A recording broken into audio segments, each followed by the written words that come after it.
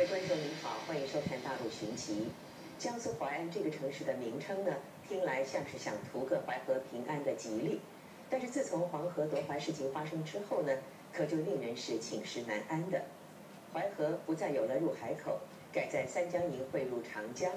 而留下的旧淮河故道呢，还被建了一座中国南北地理分界线的标志建筑。现在呢，让我们一起来到淮安，了解淮河的故事。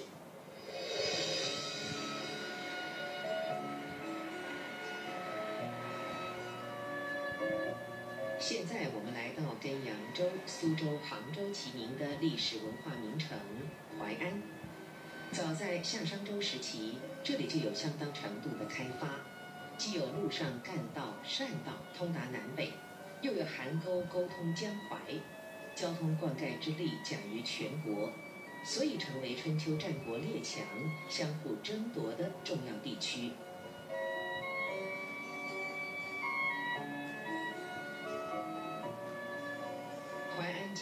河湖交错，水网纵横，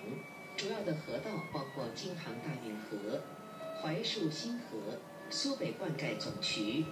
淮河入江水道、淮河入海水道。六塘河、沿河、淮河干流等九条，从这些名字当中呢，就不难看出，淮安跟淮河之间有着密不可分的关联。河在历史上河水较清，排沙量少。西元一一九四年，黄河决口夺淮河水道入海以前呢，河道没有较大的变迁跟改道。元末明初以来，黄河在夏季决口的洪水，借到古淮河下游水道入海，写下淮安境内长达七百多年的黄河夺淮入海历史。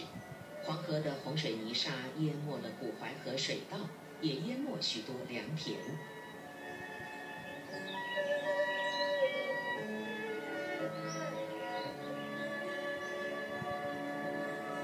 自古以来秦岭和淮河是大陆南方与北方的自然分界线。一一九四年，黄河决口改道，以淮河的河道作为固定的出海口，一直到了一八五五年，横跨了宋、元、明、清四个朝代，被称为黄河夺淮。然而，这也让少有灾害的淮河流域变成了洪灾不断的地区。研究淮河的灾害史，就可以发现，这段期间洪涝灾害高达一百三十一次，平均三年多就有一次。而如今呢，旧有的淮河河道经过改建，变成了古淮河公园，也成为了当下民众休闲与娱乐的好去处。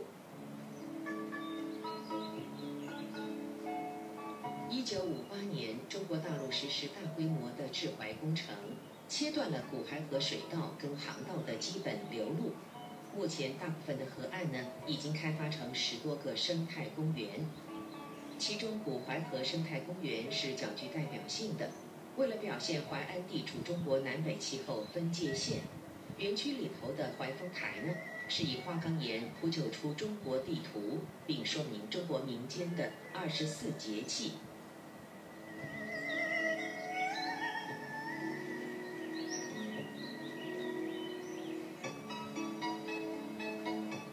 其实明清两代都有委派大员驻淮治河，清验园呢，便是清朝时期。江南河道总督部院的驻地，它起初名字叫西园，既名为怀园，又名淡园，之后呢才称为清晏园，含有河清海晏之意。清晏园的清呢有清水清河的意涵，晏呢有平静恬静的意思，所以体现了淮安人想要降服水患这样的渴求心理。再加上淮安它地处中国大陆的南北之间，所以呢，清滟园既体现了北方园林的雄伟，又体现了南方园林的秀丽。再加上当时的河道总督，他地位显赫，交友甚广，所以呢，过往的大小官员和文人墨客来到这里都要住上几天，所以呢，也给这里留下了大量的文物古迹和名人诗画。清晏园始建在清康熙十七年（西元一六七八年），至今已经有三百多年历史，是淮安唯一保护完好的古典园林，也是中国漕运史上唯一保留下来的官宦园林。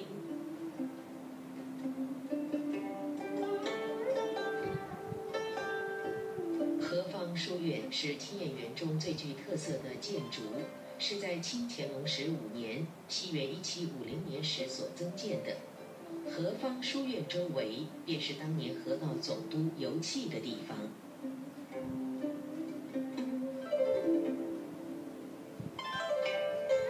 清顺治元年起至总督河道部院，主管为总督河道，官阶正二品。治所本在山东的济宁，康熙十六年呢才迁到江苏的清江府，也就是今天的淮安。乾隆皇帝和他爷爷康熙皇帝呢是对这个河务漕运，这个是十分的重视的。而他入下江南，四次来到清口，两次呢就入住了我们的何方书院，可见他对这个园子也是十分的喜爱的，也体现了我们这个清燕园它的特别之处。那他有留下一些什么样的文物或古迹吗？嗯，他我们都知道乾隆皇帝十分喜欢这个留诗词，在我们园子里有。好多的石碑都是他的亲笔所留，大多都是为了奖励这个河都治河有功，像抵祭宣秦、祭奏安南，大抵就是说这个河都呢治河有功，让这个没有河患啊，让百姓安居乐业这个意思。何方书院碑亭碑廊里的御制碑文当中，可以了解当年治水的艰辛跟漕运的情况。当时呢，是以淮安为轴心，形成鄂漕运、盐运、河工、雀关游弋的基柱，终至鼎盛时期，这让淮安人感到引以自豪的。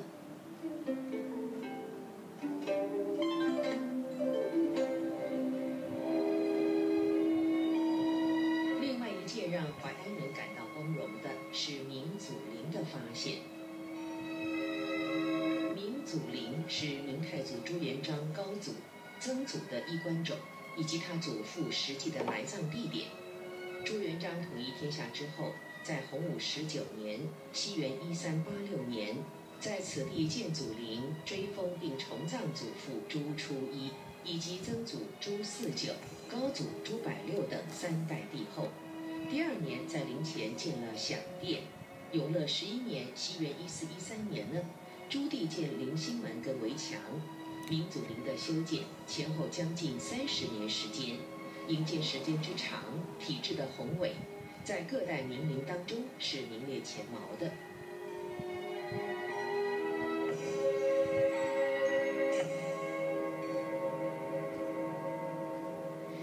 中叶以后，黄河几次夺淮，当时的朝廷啊也是几次筑堤卫陵，但是明祖陵还是在清康熙十九年，也就是公元的一六八零年，被一次特大洪涝所淹没，沉入了洪泽湖的湖底。那我们要问一下刘小姐，那后来明祖陵是如何被发现的呢？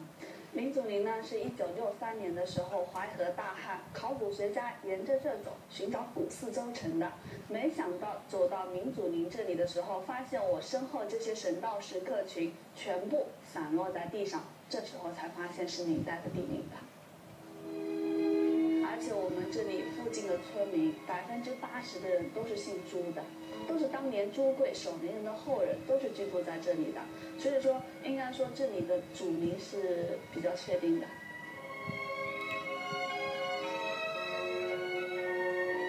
由于明祖陵呢是在明代地名体系当中辈分是最高的，所以说它陵寝的这个神道石刻的个头大小都要比南京明孝陵和北京昌平十三陵要大一点，因为这是祖名，再大大不过祖子不能妻祖这个道理。明祖陵石刻体型硕大，最大者重达二十多吨。那为什么当年朱元璋要给他的曾祖父母建这样一个衣冠冢，而不是迁葬呢？据说呢，朱元璋是找这个祖陵找了十八年才找到的。找到这里的时候。呃，发现他这个找到他这个老祖坟爷爷的实际一掌之地，但是没有把它扒开来，只是选了一个更好的位置建立了一个衣冠冢的地方，正好是在中轴线这一段。不过黄河夺淮的泛滥也使得明祖陵不断的遭到水患，清康熙年间终被洪水吞没，一直到一九六三年洪泽湖的水位下降了明祖陵才又重见天日